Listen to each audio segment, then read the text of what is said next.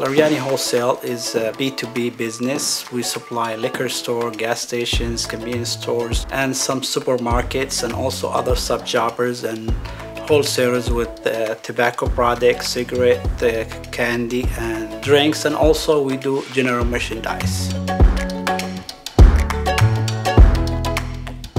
We start with the 6,000 square foot warehouse with a revenue of uh, $3.6 million. Beginning of this year, we moved to this location with 40,000 square foot warehouse. We are approximately 70 million in revenue.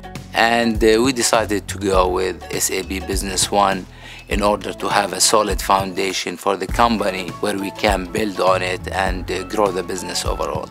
Since we implement the SAP Business One, that make our life a lot easier especially being a cloud base you know you can access it from anywhere in the world. And, and also in the same time like it's kind of one-stop shop you know you can do your accounting on it you can do your point of sales you can do inventory control you can do a lot of things with it I did my researches, um, I did my homework, and we found that uh, Nexavis would do it as a business partner. The beauty of uh, Nexavis, you can find a good team over there, really great consultants who are not coming from only information system background.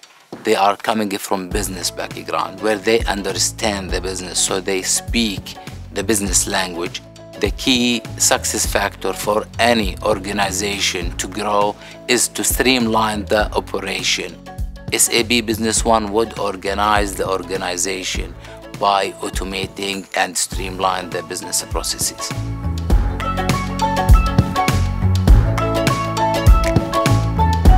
So if you have a healthy inventory control, you have a successful business, you can grow unlimited because it's a very, very important factor to any business. If you don't take care of your customers, somebody else will. We always show them that we care about their business. Either they're small or big, it doesn't matter. It's still a customer to us.